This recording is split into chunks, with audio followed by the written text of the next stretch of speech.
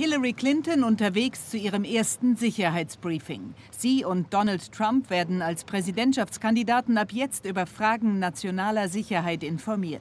Clinton führt in den Umfragen, doch neue Details über ihre Familienstiftung könnten zum Problem werden. E-Mails belegen, dass Clinton als Außenministerin Großspendern ihrer Stiftung Termine gewährt hat, etwa dem Kronprinzen von Bahrain, nachdem der 50.000 Dollar gespendet hatte.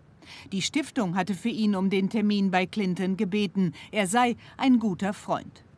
Binnen 48 Stunden bekam er den Termin. Donald Trump spricht von kriminellen Handlungen, fordert gar den Einsatz eines Sonderermittlers. Man kann nicht mehr sagen, wo die Stiftung endete und wo das Ministerium begann. Zugang und Gefälligkeiten wurden für Geld verkauft. Die Stiftung fördert soziale und Gesundheitsprojekte in aller Welt.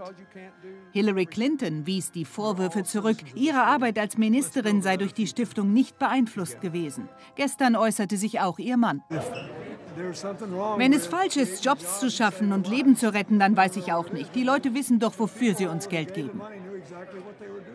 Clintons Stiftung hat Millionen auch von ausländischen Staaten eingenommen, etwa von Saudi-Arabien oder Kuwait. Dass die ganz uneigennützig spenden, ist zweifelhaft. Und Clinton selbst tut wenig, um die Vorwürfe zu entkräften.